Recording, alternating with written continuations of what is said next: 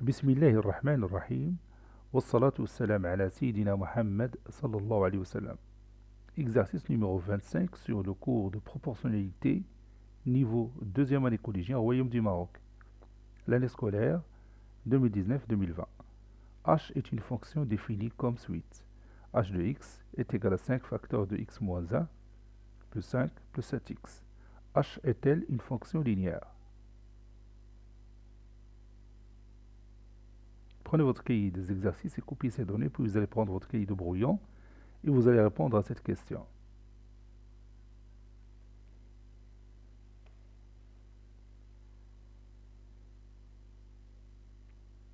Maintenant, on corrige notre exercice.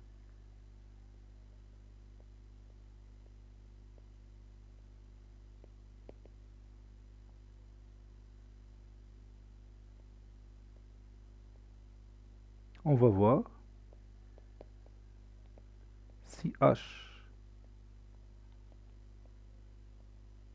est une fonction linéaire ou non.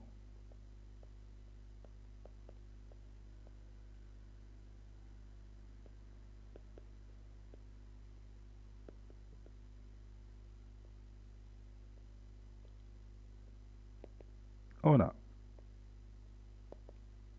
h de x est égal à 5x, 5 facteurs de x moins 1, plus 5, plus 7x. Donc, quelle est l'étape suivante? Oui, il faut tout d'abord simplifier cette expression mathématique. Et si on trouve finalement que h de x est égal à un certain nombre donné fois x, c'est-à-dire si on écrit h de x sous la forme h de x est égal à ax, alors ça sera une fonction linéaire.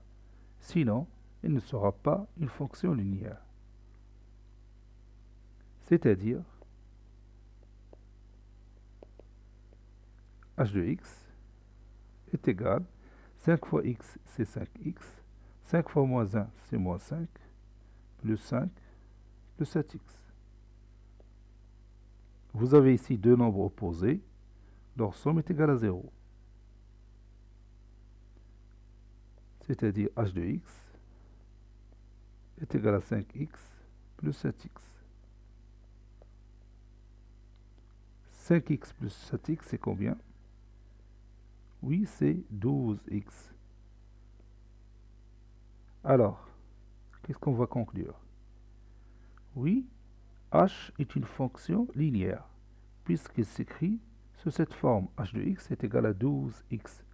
Et quel est le coefficient de cette fonction linéaire? Oui, bien sûr, c'est 12. Vous voyez? Donc je vais écrire conclusion. h est une fonction linéaire.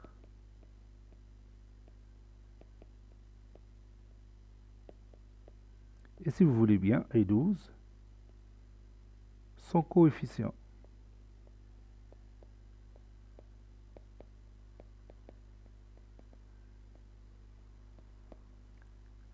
Cet exercice est terminé. Il a été préparé par le professeur Abdelatif 2 du collège Bourzaitoun Marrakech. Au revoir.